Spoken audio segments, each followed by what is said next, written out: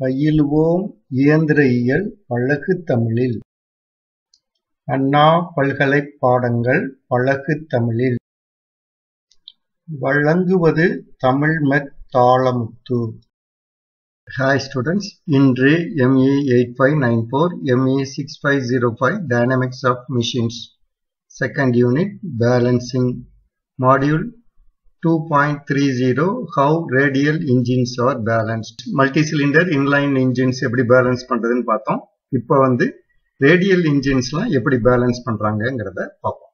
Balancing of radial engine நம்ம பேலன்சிங்கிறத டைரக்டா பார்க்கறதுக்கு முன்னால இந்த ரேடியல் இன்ஜின்ல எப்படி கிராங்க் சாப்டும் கனெக்டிங் ராடும் அரேஞ்ச் பண்ணிருக்கு அப்படிங்கிறத பார்த்துக்கிடுவோம்.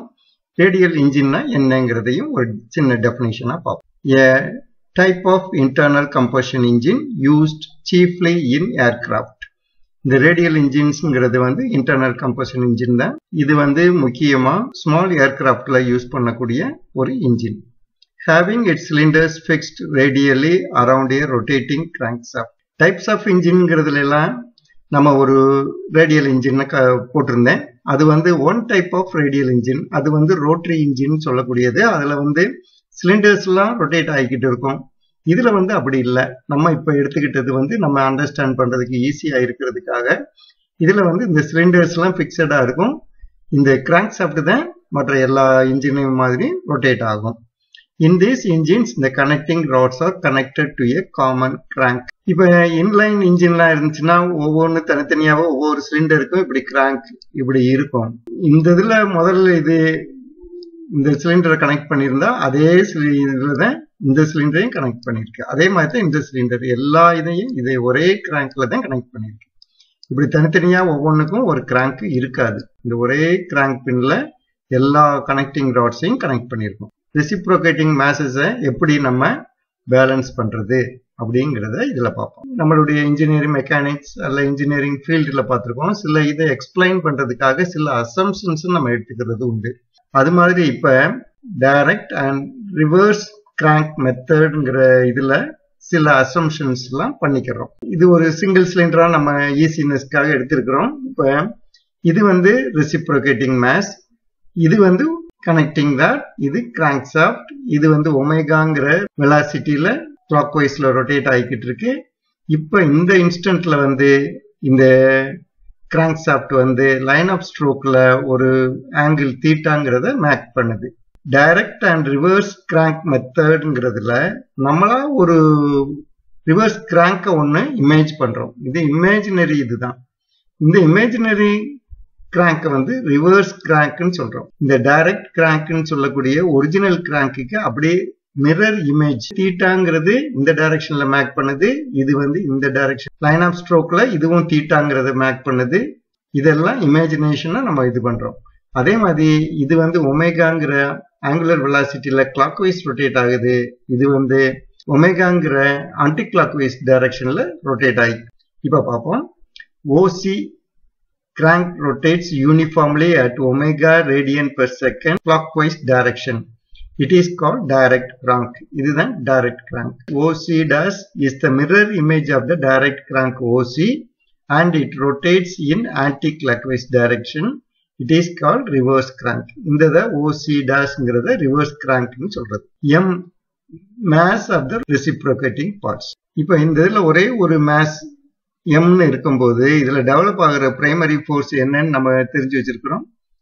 Primary force mass M into omega square into R into cos theta இது நம்ம இந்த யூனிட் ஆரம்பத்துல இருந்து இதை படிச்சுக்கிட்டே இருக்கோம்.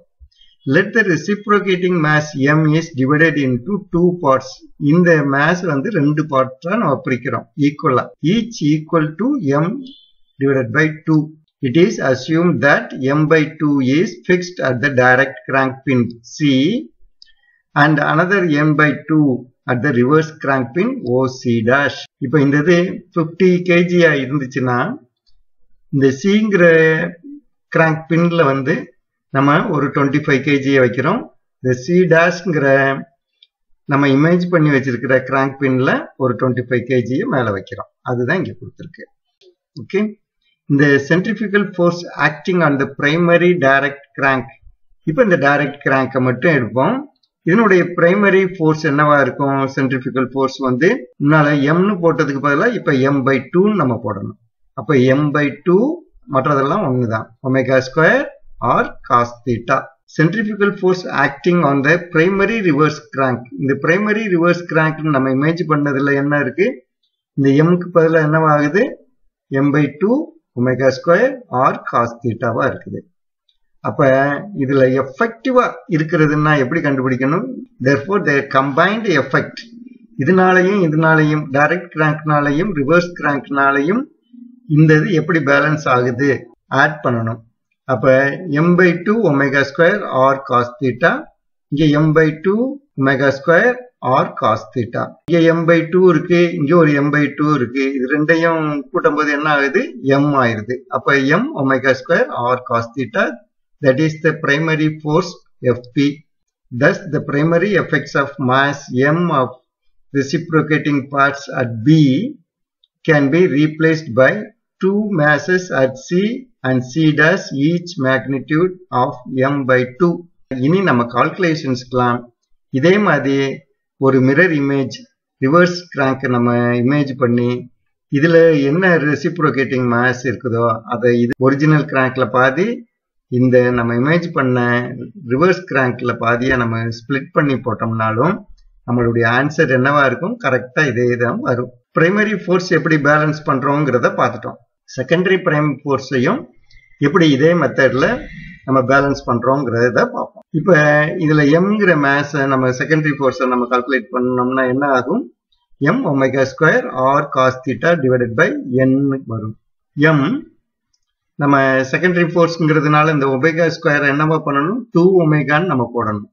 டூ ஒமேகா ஸ்கொயர் இந்த என்ங்கிறதுல என்ன போடணும்? ஃபோர் என் நம்ம போடணும். இந்த இதுல R into cos theta divided by four N ஆகுது இதுதான் இதுல எம்னு மட்டும் நம்ம எடுத்துக்கிட்டோம்னா இருக்கக்கூடிய செகண்டரி ஃபோர்ஸ் அஸ் இந்த case of primary force in this case also mass m by 2 is placed at crank pin C and C dash.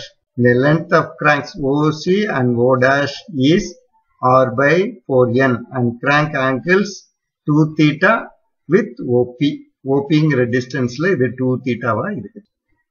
இப்போ நம்ம என்ன பண்ணியிருக்கிறோம் இங்க ஒரு டைரக்ட் கிராங்க்னு ஒன்று எடுத்திருக்கிறோம். இங்க ஒரு ரிவர்ஸ் கிராங்க்னு ஒன்று எடுத்திருக்கிறோம்.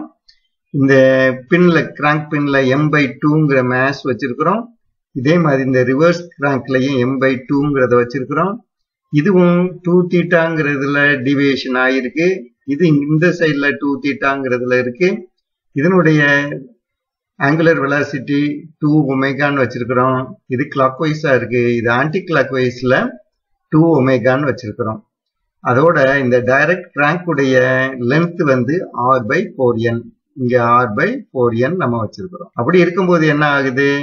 இதே மாதிரி சி சி டேஷ்ல நம்ம பிளேஸ் பண்ணி இந்த ஃபார்முலாவை அரைவ் பண்ணோம்னா என்ன ஆகும்?